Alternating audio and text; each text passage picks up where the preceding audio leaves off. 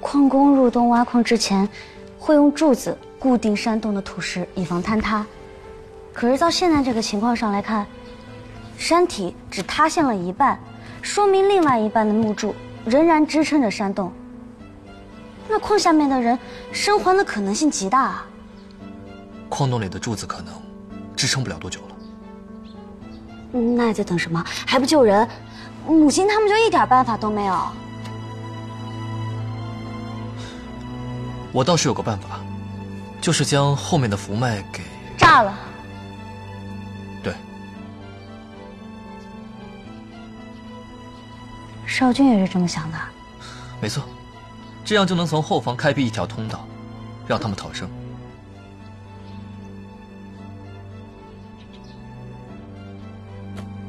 你在想什么？嗯，我在想，到底是谁愿意去当这个千古罪人扎福麦？我这把龙骨钝了，一群人来求着让我去死，这扎福麦也是大不敬的死罪。嗯，我知道了，这个事情只有一个人能做，女主角，女主角一定能够做。芊芊，你让一下。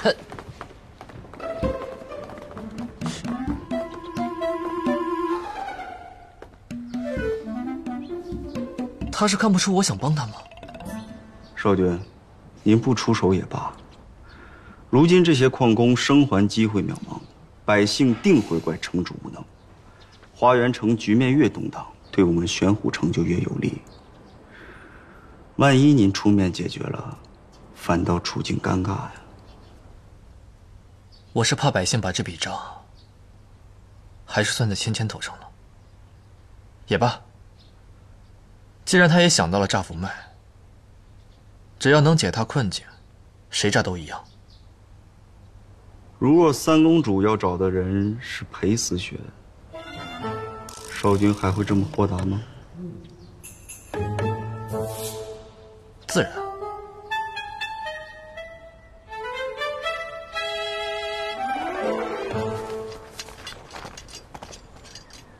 三公主这是要去。找楚楚，还请三公主不要为难小人。二郡主有命令说，不能让三公主离开府门半步。我就离开！你住手！芊芊，你太任性了，自小我们什么都依着你。才把你惯成如今这样天不怕地不怕的样子。二姐，现在情况紧急，来不及了，你赶紧带你手下人去把矿场那一百多个人给救出来，晚了可就来不及了。这可是一百多条人命，别人可以漠不关心，但你不行，你是女郡主，这是你刷名望的好机会。都这个时候了，你还想着那些矿工？只要炸了福脉，就可以把人全部救出来了。炸福脉？你是想让我落得跟你一样的下场吗？被母亲废除，失去郡主身份，被万民痛骂，请愿祭天吗？那那能一样吗？我偷龙骨那是为了一己私欲，你不一样啊！炸掉福脉虽然会引得母亲一时发怒，但是你救黎民百姓，赢得的是民心，民心当然比母亲的喜怒更加重要呀。对你而言，民心当然更重要，那是因为你深得母亲宠爱。你知不知道，我在外与人搏命，危在旦夕的时候，母亲却守在你的床前，对我不闻不问。刚刚，母亲终于对我笑了。你知道为何？却是因为我请庙带兵护着你，在母亲的眼里，她只有你，但你却一再做出让她进退两难的事。二姐。你可曾想过，如果当初动龙骨的人是我，我现在或许已经是一具尸体了。不是这样的，二姐，你动龙骨那是顺应天命，我动龙骨只是为了保。我只将你看管妥当，不被母亲责骂便好。二姐，你是将来要继任城主的人。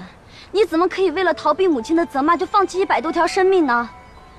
郡主的名声，真的比一百多条生命还重要吗？我不可能为了他们毁掉福脉。